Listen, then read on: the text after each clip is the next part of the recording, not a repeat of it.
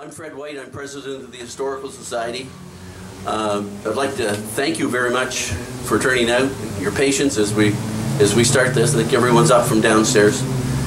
Uh, you're in uh, the soldiers' barracks, which was sort of 1853 of a building, so it's a relic in itself.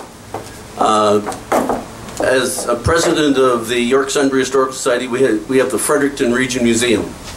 The Historical Society's a volunteer group of about 60 to 70 people, and uh, we, our major project is to operate the Fredericton Region Museum. We also do programs and publications and a lot of other things. Uh, we hope you enjoy the exhibit. Uh, we think it's a very important part of history, and uh, we're so pleased to be able to, you know, to show the, you know, this are really the the originators, the the first pioneers of this area and are, are settlers of a lot of the people. And uh, it's uh, through Bob McNeil curating the exhibit and as one of our 70 volunteers, but probably one of the more active volunteers, is he, he accomplishes a lot of other historical projects besides this because he does a magazine for Fredericton North and he's got his own magazines and he's just a general supporter of a lot of activities. Uh, I guess I, I would like to uh, acknowledge some of the people that are here that with Pam Lynch is here to represent the province. And Pam is a strong supporter of heritage. She's, she attends most of the events that go on in, the north side. She's the north side representative. She does both north and south, and even if it's heritage outside, she just, and she's always positive. When we do grants, she'll support us. When we, when we just do something, she's positive. Involved in the new school, she made sure that it was Gibson Neill were in the school name. She had to work hard. She represented both the Marysville Heritage and the Northside Heritage and in this group. Um, she she was just uh, she's just a tower of strength, and uh, so I with that she she represents us so well. On that she's fundamental in Northside Market, a whole lot of things. So I'd just like to invite her up to make a few remarks, ma'am. Thank you.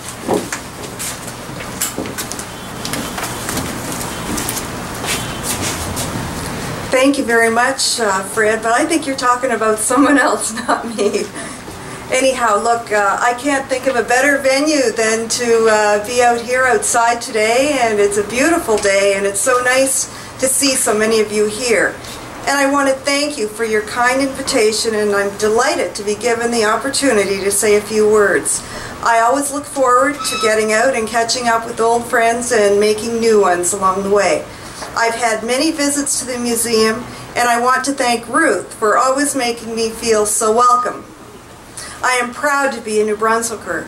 We have something special here that is the envy of the world. Our sense of community and our spirit of family sets us apart. We have maintained our grip on some of those important values that are passed down from one generation to the next. I am excited to experience Bob McNeil's exhibit because it will help to give us a glimpse of those past generations and who they were. Those pre-Loyalist planters of early Maugerville Sheffield planted more than crops. You could say that they planted the seeds for all that has grown to become part of the St. John River Valley. Bringing this history to life for all of us to observe is such a gift, and I thank Bob for all of the time he has spent crafting this exhibit. And I must say that I had the chance to view it before we came up here, and you've done a phenomenal job. Congratulations and thank you. During 2013, we are celebrating 250 years of Maugerville Sheffield. Imagine all that has happened in two and a half centuries. Think of the changes even in our recent history. Who can recall driving by the Loyalist Clock Company in Sheffield or stopping in to view some of their beautiful work? How far back must we travel in order to recall a time when there wasn't a big potato waving at passing motorists as they drove through Maugerville? As they say, Time marches on, but we're lucky to have an opportunity every so often to pause and look back. Thanks to the Fredericton Region Museum and Bob McNeil, we are getting one of those opportunities now. Thank you again very much, and I hope you all enjoy your evening.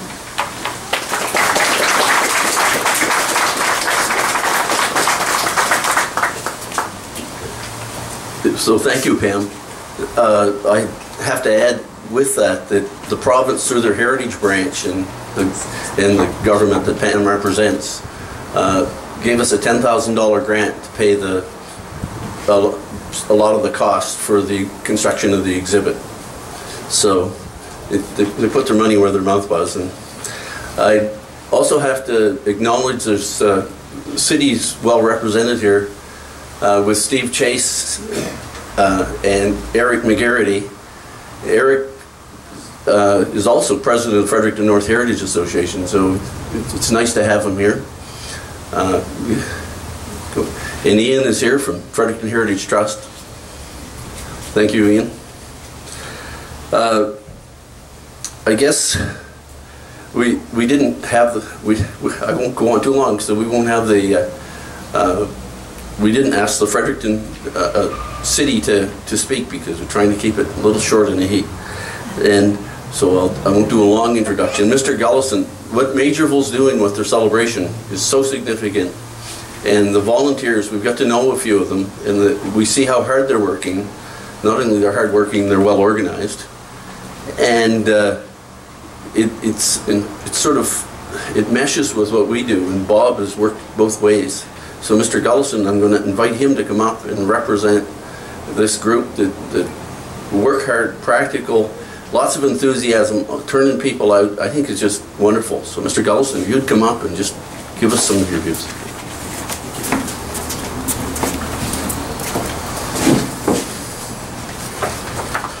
Thank you, Fred, uh, MLA Pam Lynch, and uh, Robert and the guests, city representatives. It is a pleasure, I guess, for me to represent Maugerville. Uh, there's other people here more qualified, I'm sure. I see sitting back here tonight, but uh, they wanted to see me perform. I guess that's why they designated me to do that. Uh, I am from Maugerville. I am a lifelong resident. Uh, yes, I was there for the 200th birthday and I remember it vividly. Uh, perhaps maybe that's why I was started this about two years ago, trying to promote it along with my cousin to Bill Powers. And uh, after talking talking a storm up with uh, well MLA Pam here and the government people and local other local people, uh, we finally we formed an organization and steering committee named the Maugerville 250 Heritage Committee. This comprised of members of myself and Bill Powers, Janet Phillips, Pastor Stephen Budd, and Charles Harvey. Uh, after a series of meetings in the community, uh, requested input from all the local residents and community organizations, the four churches. Uh, we had, had such a tremendous response from our community that uh, actually uh, it got going quicker than I thought. From that, our current agenda and format was created you know, we have created a special logo, the Maugerville 250. It was created by Reverend David Phillips, Lasting Impressions, we call it.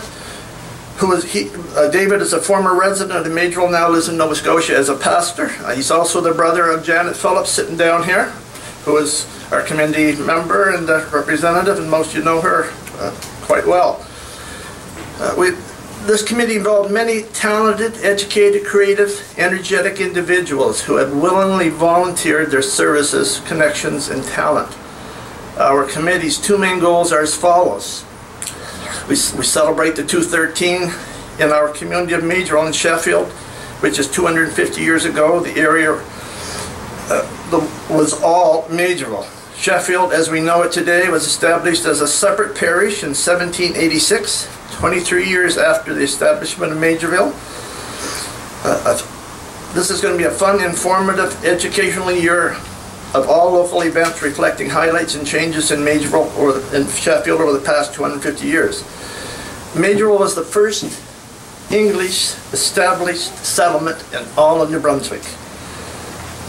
And uh, the historians will explain all that out to you, but mainly when we had over 800 people arrive in four ships one summer to settle Maugerville, that's what give it the settlement establishment. There was people living there long before, but when you get over 800 at one time, that made a settlement. Unfortunately, 600 or more of those died that very first winter, but left the seeds behind that uh, allowed us to be here tonight.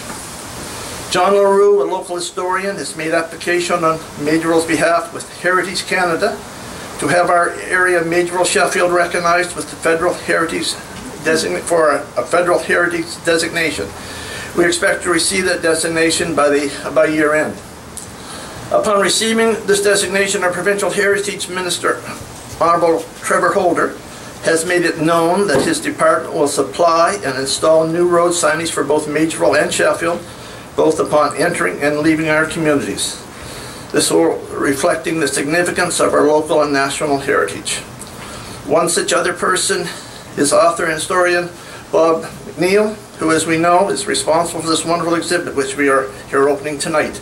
And I'm really pleased that when you volunteer, some good things happen. One of the good things is I got to know you and others and all the work you're doing to reflect what we originally started out.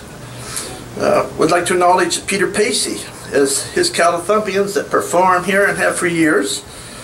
Uh, they're putting on through drama of, of they're putting on a reenactment through drama of early life as it was in Maugerville called Staging Maugerville. Some 15 shows here in Officer Square over the summer months of July and August, and several presentations throughout the summer in Maugerville and Sheffield. Uh, I would personally like to thank the members of the Maugerville 250 Organizing Committee, especially Janet Phillips, for leading the way through all of the organizing and scheduling setting. I would also like to thank our volunteers and participants throughout our community, city, and province and beyond for participating in our 250 Maugerville birthday celebration. Secondly, I would only say that the work of building Maugerville and Sheffield history will continue through the volunteer work and government support as well as other local organizations support over the next five years, much like your exhibit here. Information on this work will slowly come out over the next year's schedule. I would also acknowledge our MLA Pam Lynch, whose moral support and encouragement has linked our organization with all the appropriate supporting provincial government departments. I encourage you and other friends to experience our ancestral history through the months and years ahead as we celebrate our past together. Our overall goal, is to document and brand our community's history, educate, and leave a legacy for future generations to know something about New Brunswick and even Canada's humble beginnings. And as I was talking to Councillor Chase, the city of Fredericton's early beginnings was supported by Maugerville. This all started here in Maugerville 250 years ago.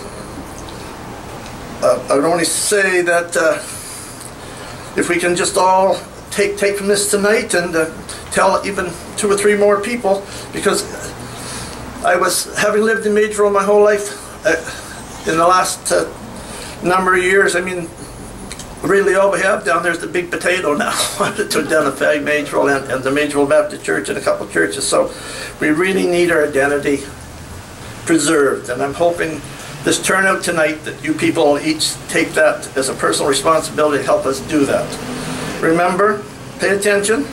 They say history repeats itself. You can read into that, whatever that means. Thank you very much.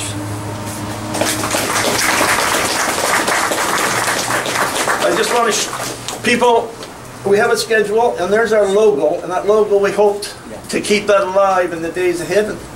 And uh, the flat bottom boat there was created by Charles Harvey, who's here tonight as well. The flat bottom boat was a means of how we defended this area 250 years ago. Thank you very much.